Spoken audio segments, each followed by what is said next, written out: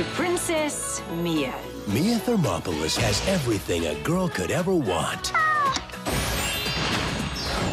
I have my own mall. I'm glad you like it. This is so cool.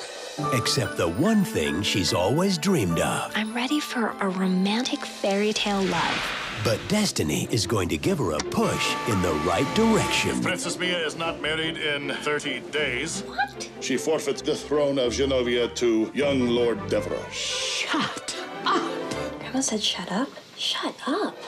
Now, a girl who's never been lucky in love will lose her family's claim to the throne unless she can do the impossible. Why don't we find out what kind of candidates are out there?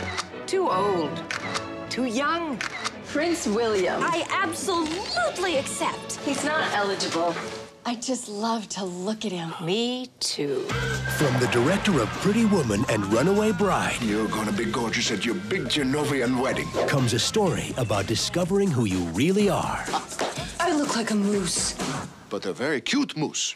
Make all the boy moose go, Wah! finding out what you really want, want to know? I don't think so. and deciding what it takes to make your dreams come true. Sorry.